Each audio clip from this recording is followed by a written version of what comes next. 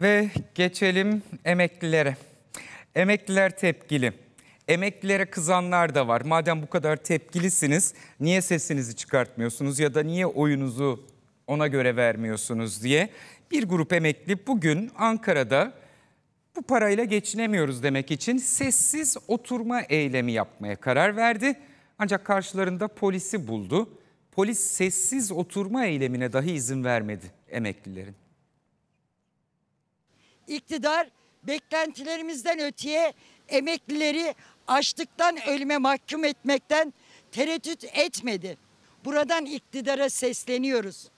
1 Temmuz'dan geçerli olmak üzere en düşük emekli maaşı 15 bin lira olmalıdır. Gün sokaklara çıkan emeklilere sahip çıkma günü. Gün emeklilerin haklarını almaları için yürüttükleri mücadeleyle dayanışma günü. Biz emeklilerin bu yaşama, bu zulme ortak edilmesini asla kabul etmiyoruz. kamu işçisini ve memuru nasıl ortada bırakmadıysak çalışanından emeklisine hiç kimsenin mağduriyetinin kalıcı olmasına rıza göstermeyiz. Emekliler iğneden ipliğe gelen zamlar karşısında eriyen maaşlarına zam talebiyle Ankara'da oturma eylemi düzenledi. Emekliler maaşlarına seyyanen zam talebini ellerinde kuru ekmeklerle oturarak protesto ediyor. Talepleri yılbaşından önce maaşlarına zam gelmesi. Memurlara verilen 8077 liralık seyyanen ek zamı bütün emeklilere verilmelidir. Biz emekliler insanca yaşamak istiyoruz. Bu talebimiz son derece demokratik ve insanidir. Aynı zamanda hakkımızdır. Tüm emeklilerin sendikası üyeleri Ankara Kuğulu Park'ta zamlara karşı bir kez daha ses yükselttiler. Maaşlarına zam talebini bu kez kuru ekmekle oturarak protesto ettiler. En insani talebimiz emekli maaşlarımıza zam yapılması, insan onuruna yakışır bir şekilde yaşamak istiyoruz. sorun e, zam almak değil. Satın alma gücümüzün dengelenmesidir. İnsan niye emekli olur? Yaşlandığında daha rahat yaşamak için. Yani huzurlu bir şekilde öbür tarafa gitmek için emekli olur. Oysa biz bırak huzurlu gitmeyi aç gideceğiz herhalde öbür tarafa. Yani ke- çoğunun kefen parası bile olmayacak. Oturma eylemine CHP Ankara Milletvekili Yıldırım Kaya da katıldı. Ancak polis sendikanın eylemi sürdürmesine izin vermedi. Emekliye 1 lira maaş zammı olur mu Allah aşkına? 1 lira, 1 lira. Emeklilerin sesine ses olmak için oturma eylemine ben de başladım. Çünkü sıra bana geleceği günler çok yakın.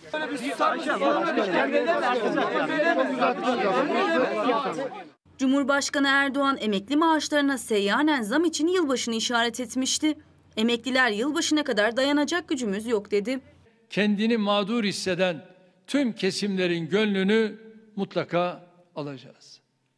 Bunu da çok gecikmeden yılbaşı civarı neticeye ulaştırmayı planlıyoruz. Vallahi yılbaşına kadar kendisi sarayın tüm masraflarını kıssın. Bir bakalım nasıl yaşanıyormuş bir görelim.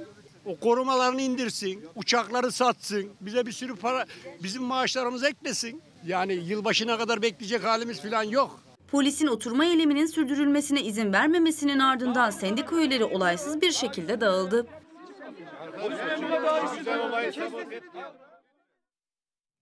Aslında olayın kendisi bu.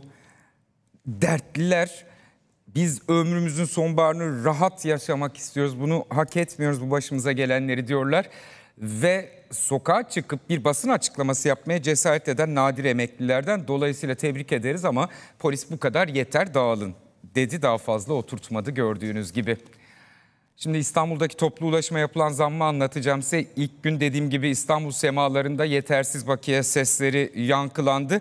%50 zam bugünden itibaren yürürlüğe girdi. Ulaşımda artık Marmara'yı kullanmak için en az 30 lira bakiyenizi 33 lira bakiyenizin olması gerekiyor kartınızda. 33 liranız yoksa Marmara'ya binemiyorsunuz. Onu anlatacağım ama bir yangın haberi var bu saatlerde. Türkiye'nin farklı yerlerinden yangın haberleri geliyor son bir aydır. Bu kez yer Şanlıurfa. Görüntüler şimdi ekrana gelecek. Şanlıurfa'da parkta çıkan anız yangını askeri bölgeye de sıçradı diyorlar. Ee, büyüyen alevler 20. Zırhlı Tugay Komutanlığı atış poligonlarının bulunduğu alana sıçramış durumda.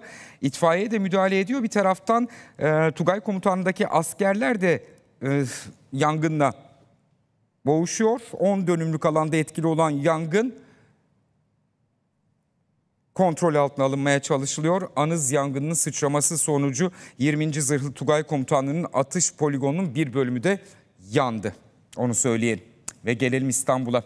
Marmaray, metrobüs, metro hattı kullananlar bugün sitem ettiler. Artık Marmaray'ı kullanmak için dediğim gibi kartınızda 33 lira olması gerekiyor. Zaten yeni düzenlemeyle taksiye inip binmek 70 liradan başlıyor.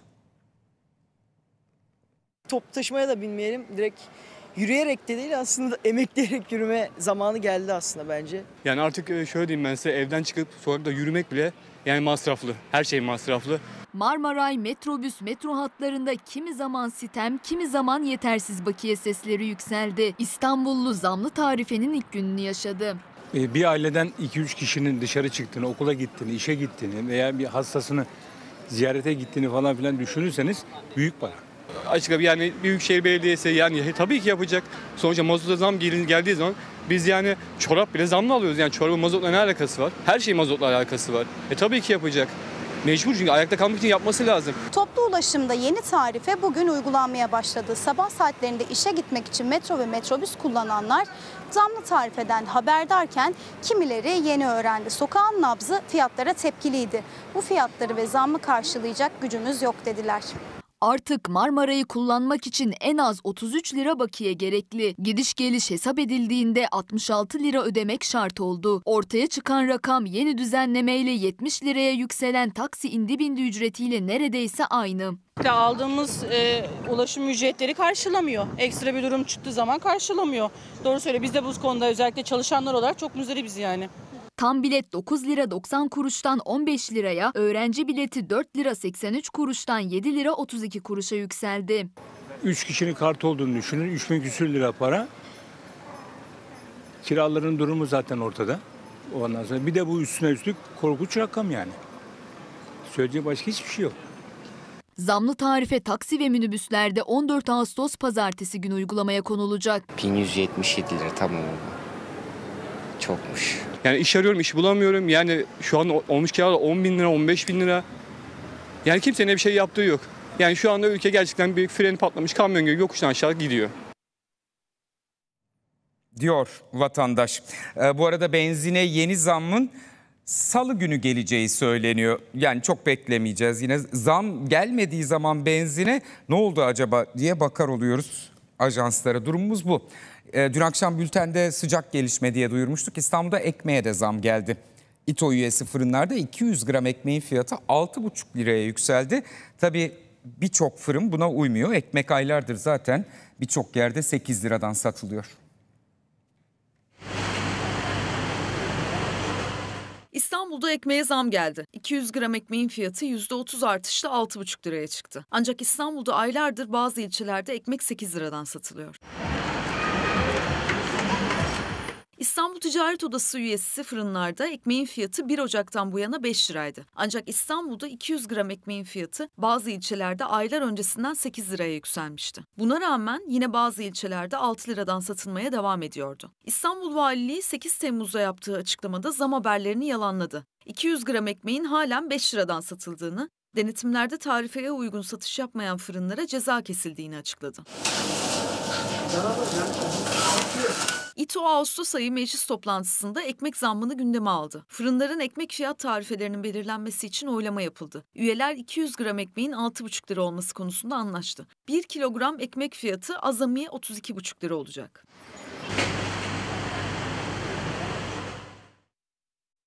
Bazı ürünlerin gramajıyla oynuyorlar. Zam yapmadık diyorlar. Zam yapıldığı zaman fiyat ayarlaması diyorlar. Fiyat güncellemesi diyorlar ama zama zam diye bilmek gerekiyor. İzmirliler zama zam diyorlar. Simide de gevrek diyorlar. Bu sabahtan itibaren gevrek ve boyozu zamlı tarifeden 10 liradan satın almaya başladılar. Efendim gevrek boyoz sever misiniz? Tabii herkes sever. İzmirlilerin vazgeçilmezidir. Evet, gevrek ve kahvaltıda boyoz. Çok severim. Her gün yesem bıkmam. Seviyoruz. Boyoz sevilmez mi? İzmir'in en çok sevilen sabah kahvaltı ürünlerinden biri.